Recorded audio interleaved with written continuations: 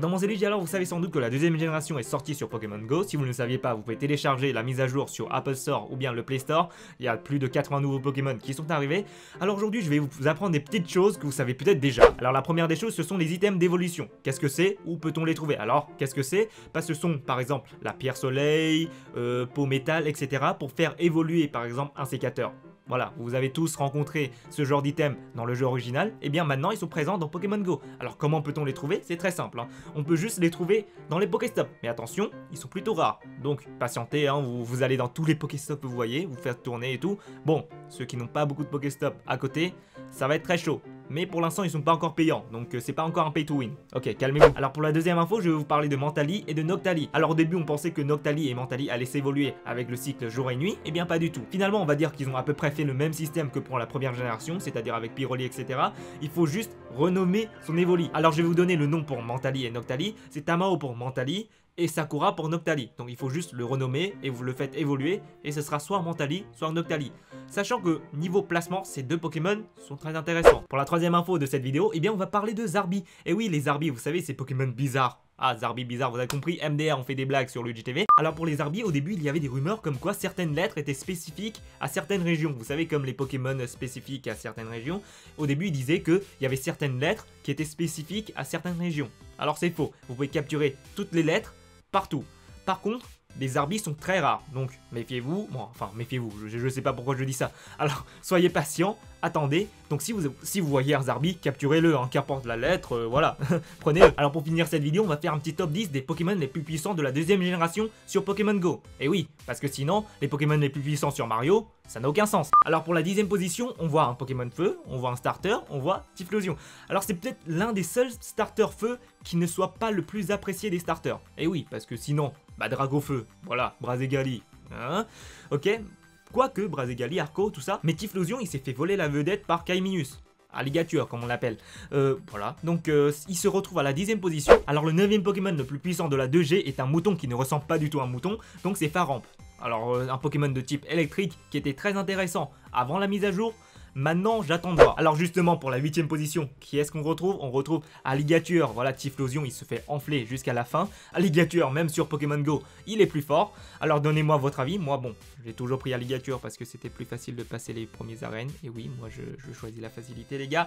Ah, voilà. Donc si vous devez choisir entre Alligature ou Typhlosion, choisissez Alligature parce qu'il aura plus de stats. Je rappelle quand même que ces stats sont provisoires parce qu'on n'a pas encore toutes les données. C'est amené à changer mais c'est plutôt précis déjà. Pour la septième position, on retrouve un nounours. Perso, je lui ferai pas de câlin. Euh, c'est pas pédobière, mais, c'est encore pire. C'est Oursarigne. Donc, de visu, il a l'air très méchant. Il est fort, ok. Donc, Oursarigne en septième position. Alors, pour la sixième position, je vous l'avoue, je suis un peu déçu. On retrouve Cisaiox. Voilà, c'est un peu mon Pokémon préféré. Il est juste à la sixième position. Bon, Niveau strat, il était pas ouf. Double faiblesse, quadruple faiblesse feu, que dis-je. Donc, euh, euh, sur Pokémon Go, il se retrouve à la sixième position des Pokémon les plus puissants de la 2G. C'est déjà pas mal, mais peut mieux faire. Puis à la cinquième position, on retrouve Scarino. Je sais pas pourquoi dans ma tête, Cisaiox et Scarino, bah, c'était des rivales, je sais pas pourquoi, c'est peut-être dû à l'animé, mais, mais on retrouve Scarino à la cinquième place, un Pokémon sans évolution pour l'instant, parce qu'il aura bientôt sa méga évolution, bon, peut-être pas dans Pokémon Go, mais un Pokémon sans évolution, donc euh, on va dire que c'est facile à optimiser. Si vous avez les bonnes attaques avec, bah, vu qu'il n'a pas à évoluer, bah, il garde ses attaques.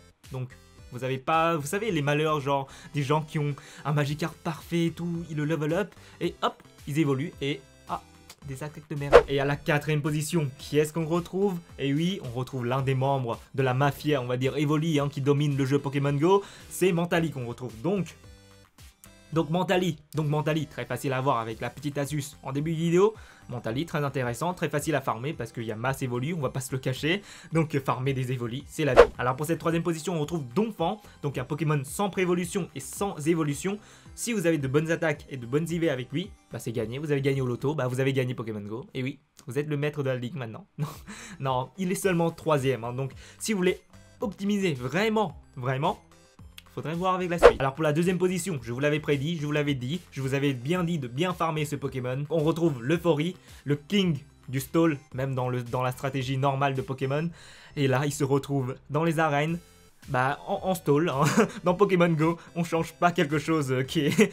Qui est voilà, c'est normal maintenant, l'euphorie égale euh, sac à PV, égale, euh, égale le jeu stall, égale jeu tank, voilà. Donc si vous avez bien farmé pendant l'event Saint-Valentin, Valentin, pendant l'event Saint-Valentin, eh bien si vous avez l'euphorie, bah vous avez un pas d'avance sur tous les autres. Alors pour finir ce classement, je vais vous présenter le Pokémon le plus puissant de la 2G, mais aussi de la première génération. Et oui, parce que lui, il est au-dessus de Dracolos. Voilà, donc vous savez sans doute qui est-ce déjà, c'est Tyrannosif. Donc, à part les légendaires, c'est lui le plus badass, le plus puissant. C'est lui qui va dominer les arènes. Il est rare aussi, donc, euh, donc bon, il doit être aussi rare que, que les Dracolos. Donc maintenant, vous allez voir Dracolos, Tyrannosif, voilà, et l'euphorie. donc, euh, donc euh, vous savez maintenant les 10 Pokémon les plus puissants qui ont été ajoutés. Maintenant, faites avec ce que vous avez déjà de la première génération et allez conquérir les arènes les gars. Alors je vous prends pas plus de temps, n'oubliez pas de laisser un pouce jaune pour dire que vous avez aimé la vidéo, c'est très important. N'oubliez pas de laisser en commentaire bah, vos avis sur la vidéo. N'oubliez pas de partager la vidéo sur Facebook, sur Twitter, sur Instagram, sur Snapchat, sur je sais pas quoi. Bah, voilà, c'est très gentil de votre part. Et bien sûr, n'oubliez pas de vous abonner, de cliquer sur la petite cloche hein, pour recevoir les notifications. Ça fait toujours plaisir et c'est comme d'hab. Bon, voilà, la vidéo s'arrête ici. Bon, si vous voulez faire un tour sur mon Tipeee, vous pouvez. C'était déjà à votre service. À la prochaine. Ciao